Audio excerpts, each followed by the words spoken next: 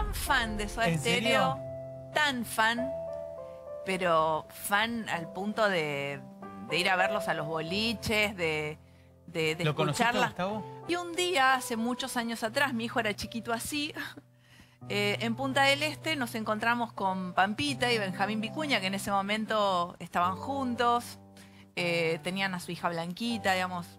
Era otra época, ¿sí? Y nos invitaron a un asado en su casa, fuimos un montón. No te digo que al entrar lo veo a Cerati, Cerati sentadito así con esos rulos. Entonces entro y lo veo y le digo a Omar, le digo, está Cerati. Yo como si fuera eh, Sí, sí. una, una persona desconocida. Sí, claro. volví a mi adolescencia, volví a mi cuarto con los pósters. Digo, pero no lo puedo ir a cholulear a Cerati. Y no lo fui a cholulear. No, sabes lo que yo me arrepiento. No, no, porque yo tenía que agradecerle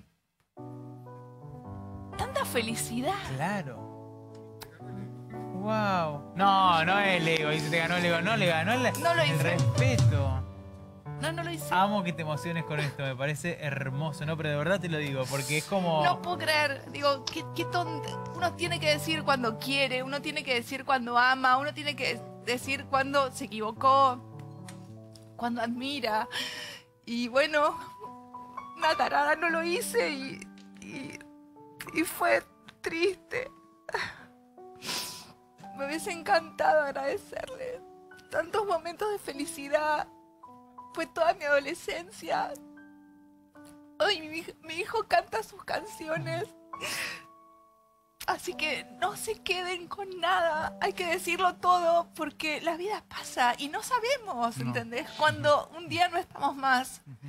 Y hay cosas que uno vive llenas de amor y ese amor hay que entregárselo a quien nos lo despertó. Mm, mm.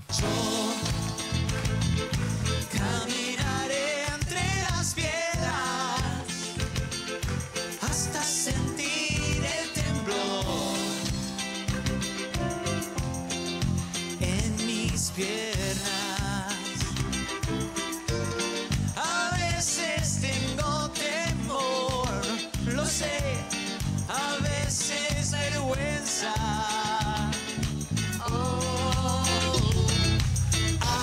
Ahí está, precioso. La verdad,